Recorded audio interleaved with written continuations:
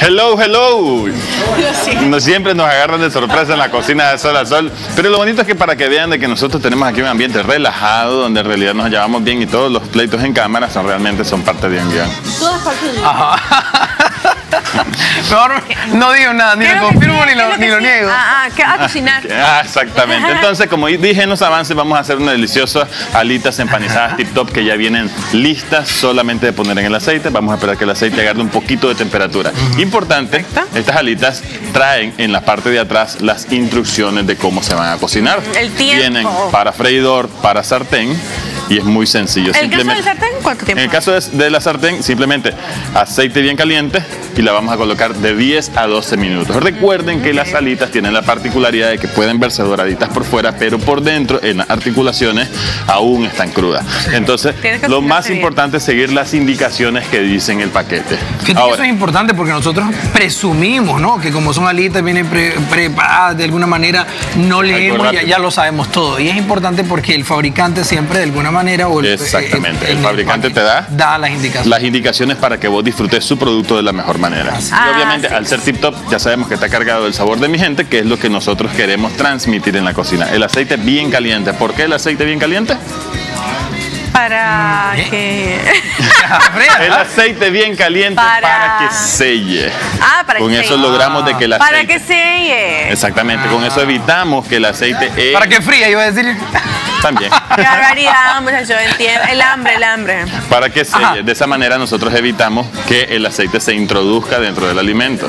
Pero seguramente no nos vamos a quedar hasta ahí, ¿verdad? Le vas a hacer algo más. Eh, Ahora, veo varios Ajá. ingredientes. Veo miel, que le encanta la Valeria. Veo salsa soya, ¿verdad? Salsa soya, Salsa soya, vinagre blanco, vinagre azúcar, blanco. jengibre, pimienta, ajo y mantequilla. Algo agri- agridulce me suena por ahí. Exactamente, vamos a hacer una salsita oriental deliciosa. Entonces, ¿nosotros con qué vamos a empezar? El aceite ya está caliente, temperatura Uy, muy alta. lo vamos a alejar porque Miren seguramente fácil es esto. Vean qué fácil es esto. Si A quieren, ver. no le pueden poner ninguna salsa, comérsela con salsa de tomate como ustedes También mayor es le rico, disfruten. También No le da tiempo la Entonces, salsa. miren, tan sencillo como romper el cierre y abrir. Y ya decimos de que ya preparamos las alitas. Porque ya de tip top. Entonces, Pero ¿vean? también el abre fácil, que lo que permite es de alguna manera, si no cocinas también todo, a poder guardarlo en la Tiene su cierre Ziploc, Me encanta. entonces inmediatamente queda y lo guardamos en Sí, el refrigerador. sí, sí, sí. Eh, Para varias raciones, dependiendo cuántos invitados tengas o cuántas personas como van. aquí ¿O qué te guste comer, Sí. También? ¿Con cuántas piezas de esas vos, Fíjate te satisfacción? que... Espérame, déjame ver, déjame ver. las porciones son generosas. O, la- o las alitas completas porque... Mira, me comería dos pechuguitas y una alita. el- el- Estoy siendo sincera. Estoy, ah, bueno. estoy siendo sincera. Y depende, porque si ando antojada me como más. Ok, entonces nosotros vamos a emplatar cinco. A mí me gusta emplatar con Ay, números impares. Ahora, generoso, ¿cuánto vienen en cada, No, mejor. ¿cuánto vienen en cada empaque? Vienen de 8 a 12 porciones. Entonces, Pone otra, pone otra. no, no. Pero mira, yo tengo una, yo tengo una duda, Para acá. ¿verdad? En el tema, en el tema de las proporciones, porque por ejemplo en estos empaques dice de 8 a 12. Aún así creo que se garantiza un tema de, de peso, ¿no? Mínimo en, en el tema de, las- de las presentaciones. Creo que Algunas sí, personas no- dirán, ah, bueno, no me puede salir uno de 8, me puede salir uno de 12. Recordad que cuando comemos alitas estamos pensando cuántas alitas nos vamos a comer Eh, cada quien. No en cuánto pesan las alitas, sino cuántas nos vamos a comer. Ocho alitas, yo ya sé que le voy- doy a dos a cada un miembro de mi familia y estamos completos. Ya sabemos que es para dos, mínimo. cuatro y cuatro. Exactamente. Entonces, importante, Ay, voltear. Toma color inmediatamente. Eso no significa que ya esté cocinada. No está Ajá. sellada. Significa que ya selló. Ah, ya selló. Pero que no está cocinada Ah, todavía. Entonces, a mí me gusta cuando cocino alitas, para evitar que el empanizado que ya viene se siga quemando, sellamos con temperatura muy alta y yo bajo la temperatura. Mm, me para parece, terminar de me parece cocinar. muy bien. Para que esa Ahora que- segunda tanta de fri- de- Eso de pasa de pronto cuando uno quiere hacer eh, el tema de la alita. Yo, por ejemplo, antes que no tenía tantos conocimientos de cocina, no es que Ya ahora los tenga, pero he aprendido muy poquito. Yo dejaba ahí, vos sabes, para que estuviera bien, bien, eh, bien cocido el pollo por dentro y al final se me terminaba quemando todo por fuera. Exactamente, importante. Fuego alto, sellar, temperatura baja, Y terminar después, de cocinar. ok. Sencillo. Ahora, la salsa del acompañamiento, muy sencillo, fácil y rápido. Muy similar a la que hicimos ayer. Pensé que le va muy bien a estas alitas. Pues vamos a poner esta vez mantequilla. Me encanta el aroma de la mantequilla. me Ahí pusiste un poquito de aceite, sí. Puse un poquito de aceite importante, que siempre haya una base de aceite para que la mantequilla no se queme. Ah, fíjate que, bueno, yo, un primer error. tampoco lo sabía. Un error, porque yo siempre pongo la mantequilla directo. Yo también, o ponía el aceite o ponía la mantequilla, pero jamás juntos. Ajo, ¿te gusta mucho el ajo? Eh, A mí sí, pero no, no, no pongas tanto. Le pongo- Término medio. Un poquito Ay, de ay, ajo, ay, pues ay. aproximadamente. poquito, mira. Como yo en mi ensalada. Ah, como- ah, Yo creo que Teodoro todavía no estaba aquí.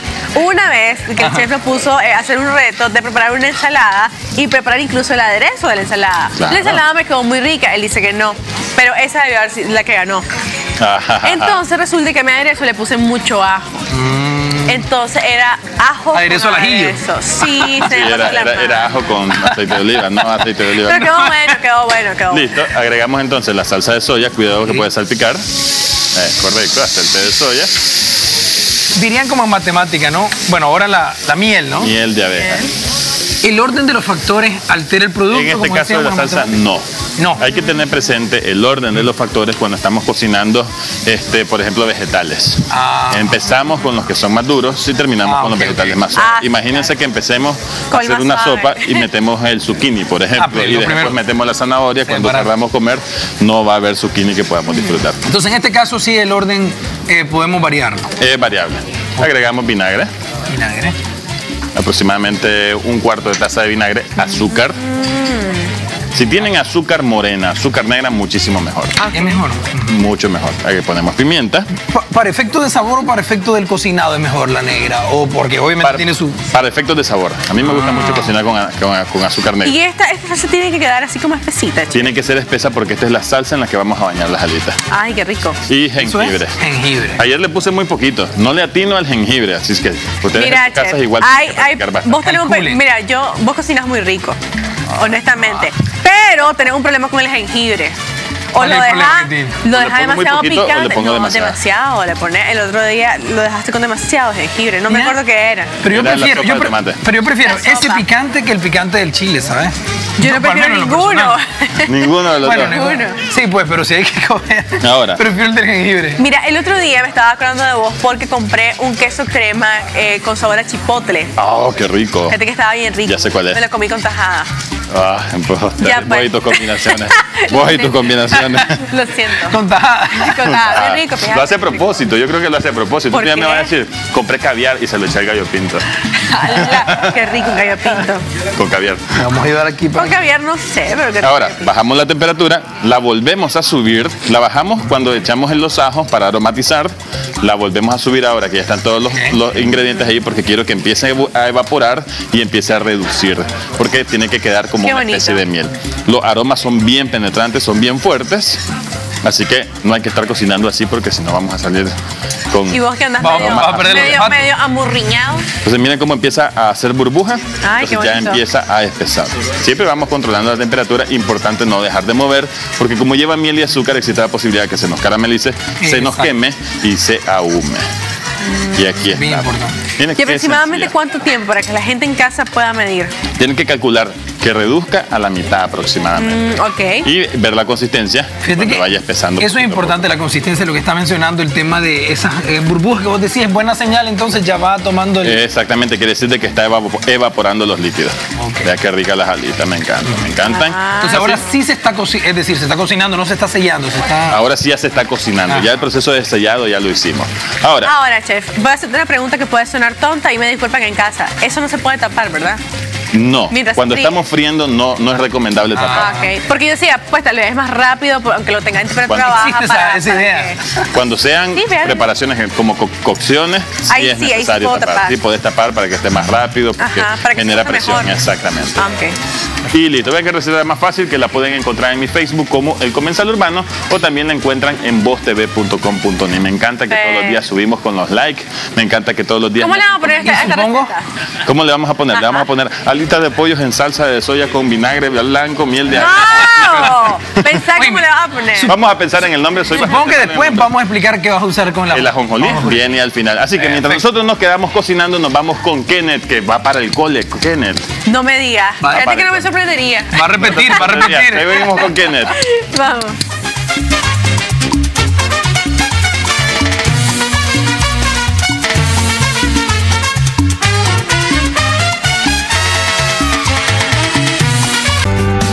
También se sienten los olores. Deliciosos chef. los aromas. Mira qué rica la salsita, mira. Ya empieza a caramelizar, que es lo que nosotros estamos buscando.